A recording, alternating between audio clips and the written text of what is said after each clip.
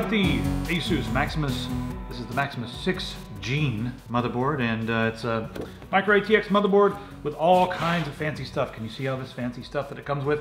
We're gonna cover that when we open it up, and I'm gonna try to make this a shorter video because I'm gonna be doing a build with this, where I'll be getting, um, you know, a little bit more down to brass tacks with this thing. So first thing I'm gonna do is pull it out, set it aside, and show you the accessories that we get in the box. So of course you've got your uh, I.O. panel for the back, and everything's nice and labeled. It has a black um, graphic with the ROG logo right over there in the corner. Okay, this is uh, actually pretty cool. Um, I'll, I'll get to that in a second because it's actually so cool it deserves its own segment. Uh, there's our SLI bridge with the ROG logo on it. We've got, yeah, six uh, SATA cables, and uh, there's eight SATA on board, so lots of those. There's a Q connector, some standoffs. The Q connector is the handiest, handiest thing ever? The most handy or handiest? I don't know.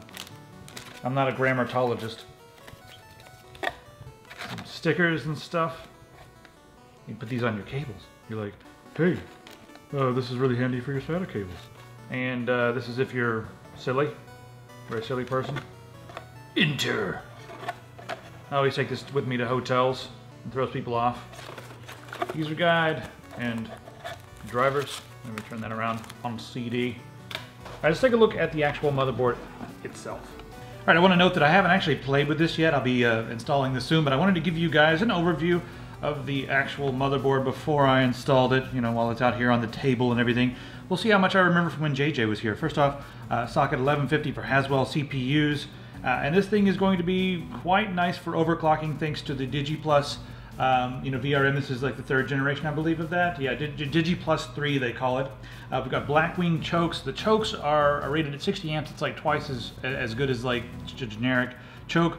Um, some of the best MOSFETs you can get on the planet. And I also want to note that all of the caps, of course, they're uh, you know solid state capacitors from Japan, but they're not just the standard solid state capacitors you see on you know any old motherboard. These are like as good as it gets. These are 10K capacitors. Most of the time, if you look close at the capacitors, they'll be like 2K or 5K. So we have 10K capacitors here. Now that's going to give you really clean power going to your um, your motherboard. Also, we got these fins here. This is going to you know lower the temperatures on the um, the entire VRM by a few degrees Celsius. Uh, you know anything anything that can help. Um, and also the T-topology on this is next generation as well. So all of the different routes going to and fro are um, fancy. That's over here four RAM slots, and uh, this is capable of running DDR3 at speeds of up to 3,000 uh, megahertz. That's with overclocking, of course.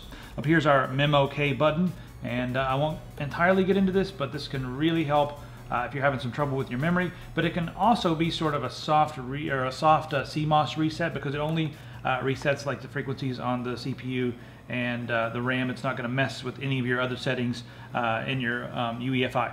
All right, got some fan connectors there. There's your 24-pin uh, power connector, and then USB uh, 3 there. And you can see here we have uh, eight SATA connectors. They're all six gigabits per second. Gotta, gotta love that. Uh, moving on down here, you know, front panel connectors and things. Um, and then beside that, another uh, fan connector. There's your direct key, and then your uh, TPM, Trusted Platform Module. If you need that, you probably know what that is, but if you don't know what that is, you probably don't need it. Uh, USB, you know, headers down here and audio headers, all that fancy stuff. And also we have a 1394 header as well down here. Uh, power and reset right on board. Hey, SPDIF there. Now let's check out um, the audio because this has what they're claiming is some of the best onboard audio on the planet. And you'll notice this is the one spot on the motherboard where the capacitors are different. They're using um, premium ELNA capacitors from Japan, and these are specific for the audio to give it a nice, uh, warmer sound. And there's also an op amp on board. So with the Supreme FX, they, have gone, you know, kind of crazy with it. Uh, signal to noise ratio on this, I believe, is 105 or 115. I'll have to double check. Uh, but it's pretty, pretty much, it should be a nice transparent source. I'm not sure what the output impedance is. I'll have to try out some headphones and just see how it sounds compared to like, you know, the O2 amp DAC that I have. But this should be as good, if not better, uh, than most sound card solutions. Check this out, they've got it, you know, separated from the rest of the components on the on the motherboard, and that's going to help out with some of the noise. Uh, it's not to help out with like the static and stuff that's going on in the system, but it is going to help out with noise that's coming from the other components that are on uh, the PCB here. So that's nice and fancy. All right. Also, uh, oh, another fan connector there. Can't forget that. Those are very important. Uh, you can see here we have two 16-speed PCI Express connectors, and this does support uh, Crossfire and SLI.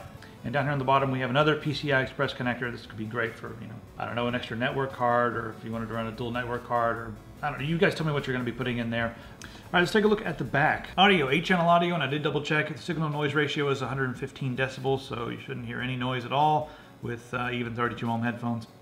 Intel NIC in there. and We've also got something uh, called Game First, which is interesting. In the UEFI, uh, it'll allow you to uh, you know select what packets you want to have priority. So packet prioritization is really cool, and I love that they've integrated it into the UEFI, so it, you don't even need software. If you want gaming or peer-to-peer -peer file sharing or whatever to have the priority as far as the packet prioritization goes, this sounds really wordy. Yeah, you can do it. USB 3.0, two of those there optical audio, HDMI, supports 4K at 24 hertz, more USB 3.0, USB 2.0, clear CMOS and uh, USB BIOS flashback, and you can check out our video on that. And also worked with ROG Connect. And then there's absolutely nothing here, except for freaking this. This is, stay there, oh, I'm putting it in backwards. Yep, that's how it goes. It screws on right there.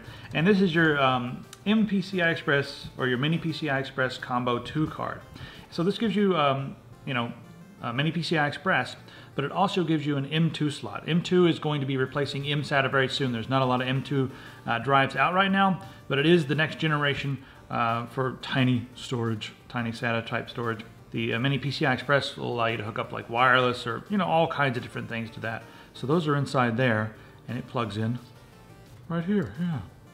And there's a ton of stuff that you can do with this. A couple more things to know before we close out the video. It does have the, um, the connector for the ROG front panel, um, you know, OC panel. Uh, and that's pretty cool. It's an additional accessory that you can pick up if you, uh, you know, if you want to have like all the front panel coolness and also uh, external overclocking through that is possible.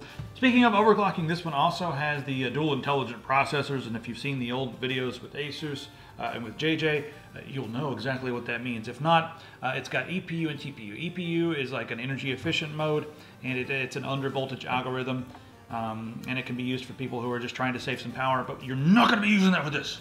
Guarantee you're not going to be using that with this.